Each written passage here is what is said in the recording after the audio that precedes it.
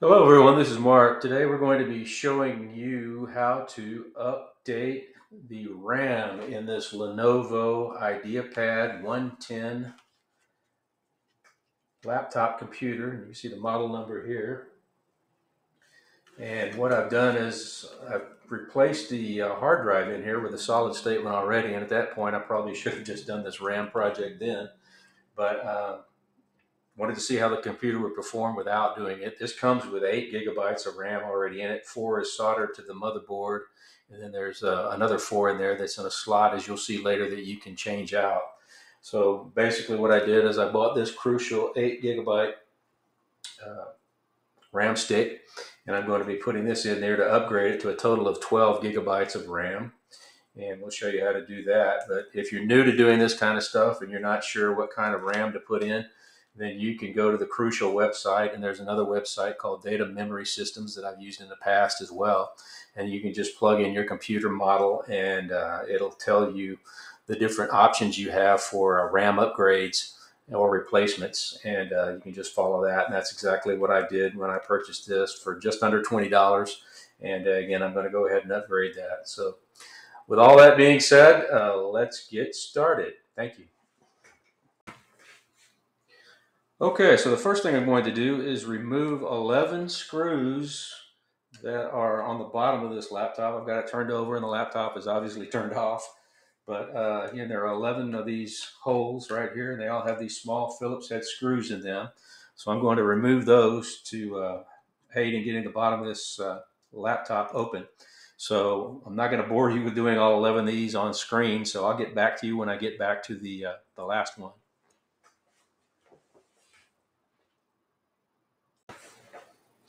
Okay, so I've got 10 of the 11 screws removed. I saved this one right here for last because this screw actually holds this DVD drive bay into place.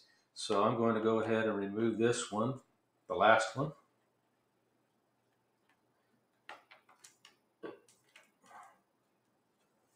Set it aside with all the others, and all these screws are interchangeable, so it doesn't matter if you mix them up. Then I'm going to go ahead and pop this DVD drive out,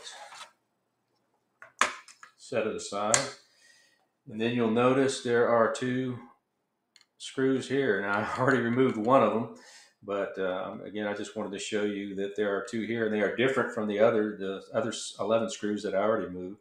But uh, I already popped one out, so again, I'm just going to remove this one too. And just show you the difference in the two. So again, just be aware. But uh, again, I'm gonna go ahead and put these aside where I won't lose them, and then go to the next step. Okay, so I've moved, removed 13 total screws, and you would think that would be enough, but uh, for some reason, the folks at Lenovo put another screw that I need to open this case up underneath the keyboard. So what I'm going to have to do now is uh, remove this keyboard. And to do that, I'm going to use a couple of guitar picks. And if you watch some of my other videos, you know I do play guitar. But uh, basically what I'm going to do is uh, just wedge this underneath here where these F2 and F3 keys are and get it to pop up And then I'm going to take another guitar pick and just run it underneath here along with my finger. And you'll hear these clips snap open.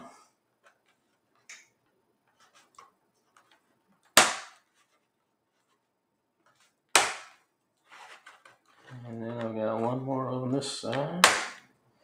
And there we go. once you have this top loose, you just pull it up Oops.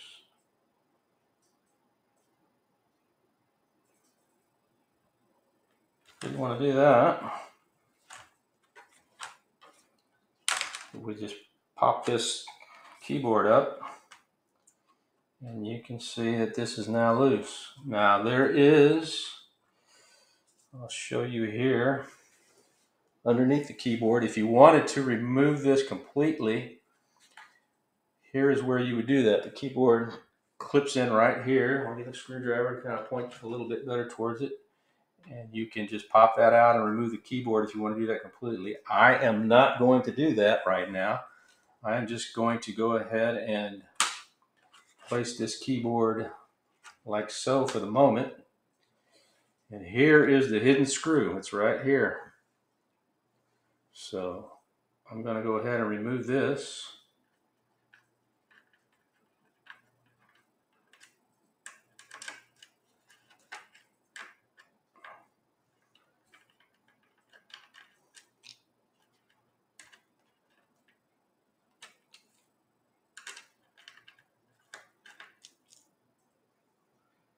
Place it with the others. And again, this screw that goes in right here is uh, again the same size as all these other 11 screws that uh, we took out of the bottom of the keyboard or the bottom of the computer. So now that I've got that done, what I'm going to do is I'm just going to lay this back here and pop the bottom in a little bit. Remove this guitar pick.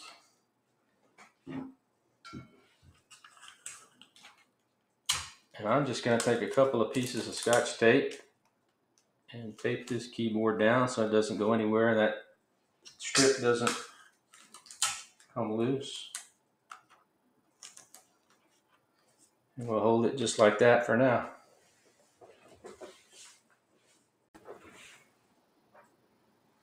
Okay, so next step is I'm going to separate this top part of the laptop from the bottom part.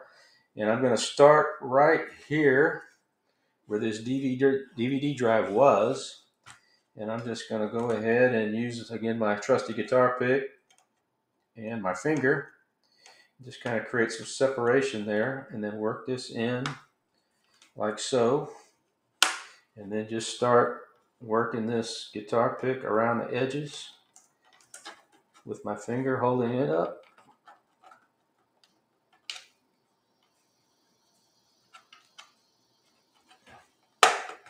You'll hear the popping as it pops out.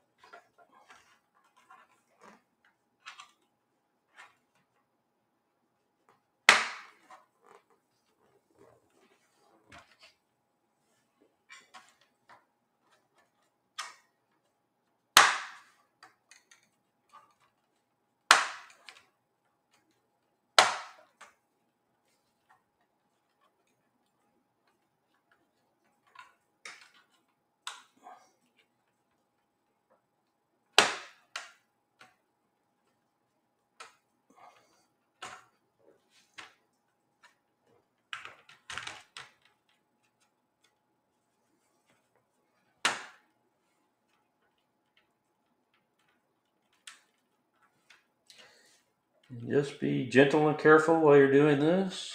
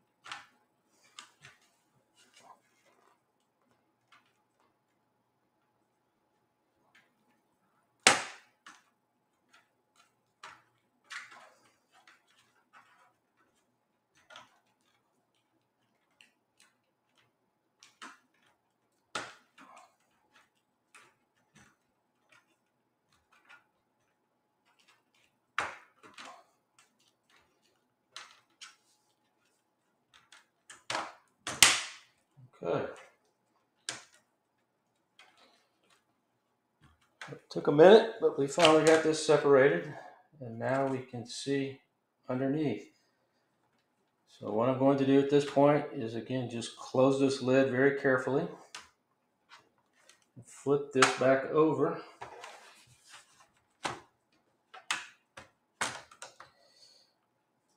And here we have the current RAM. So you can see, oops, you can see that I replaced the hard drive already. This is where that goes if you're up there doing that. And then this is where the, uh, the RAM stick is, the changeable one, or the removable one is. So in just a second, we'll change that out and get moving. Okay, so the bottom of this again is loose. Now, if you wanted to go ahead and completely remove this bottom, you would have to unplug this battery cable that plugs in right here.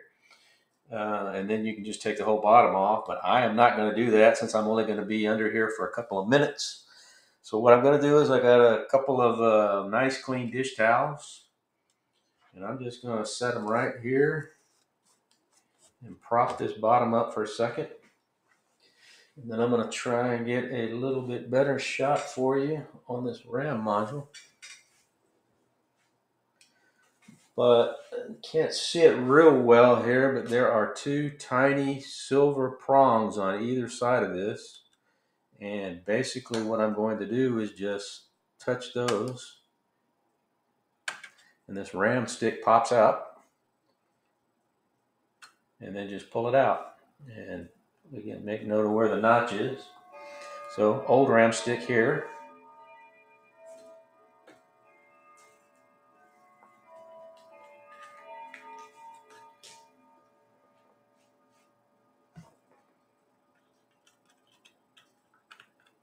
And here's new ram stick. So again, the notch, you got to line it up with the notch right here. And then just kind of wedge it Make sure it's in there pretty well. And then we're just going to push it down and clip it into place. Again, just take your finger and not real hard, but make sure the thing is in there tight. So it's got a good connection. And that should do the trick. So at this point, I'm going to go ahead and remove these towels. And take this bottom again and carefully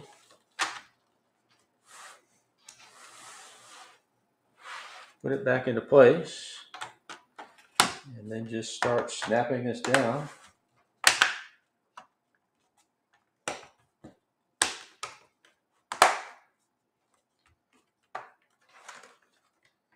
Just kind of work your way around the edges. Press. And I think everything is popped in tight now.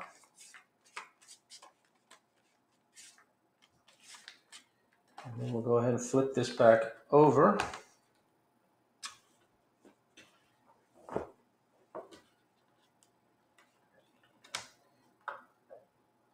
We're going to again gently just raise the top. And again, go around the edges one more time and just make sure everything is popped into place.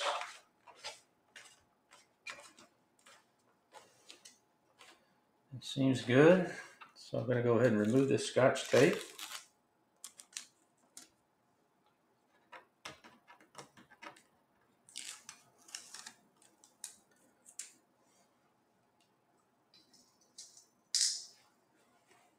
I'm going to grab one of these screws.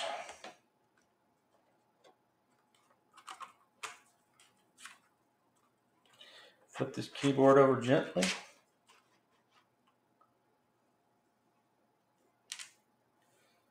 Pop that back into that hole.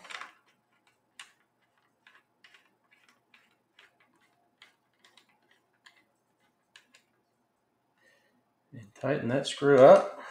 And then we're going to place the keyboard back. So we're going to flip it back over. And again, we're going to start by, you can see, hopefully you can see some notches right here on the bottom of the keyboard. So we're just going to work those back in underneath like so. Make sure they're all underneath the frame of the keyboard. Put that in. Don't turn on the on button like I did a minute ago. Be careful not to do that. And just start popping this keyboard back into place. And you'll hear it snap all the way around. Last corners by the power button.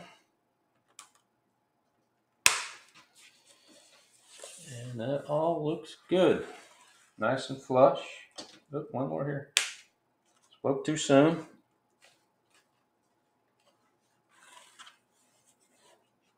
That all looks good. So again, I'm just going to go ahead and close the lid. And flip this over.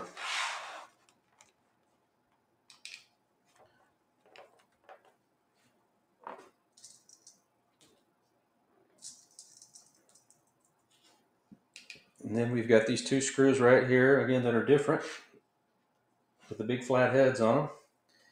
And we're just going to go ahead and replace those real quick and then do the others. And again, I'll get back to you when I'm almost done with that.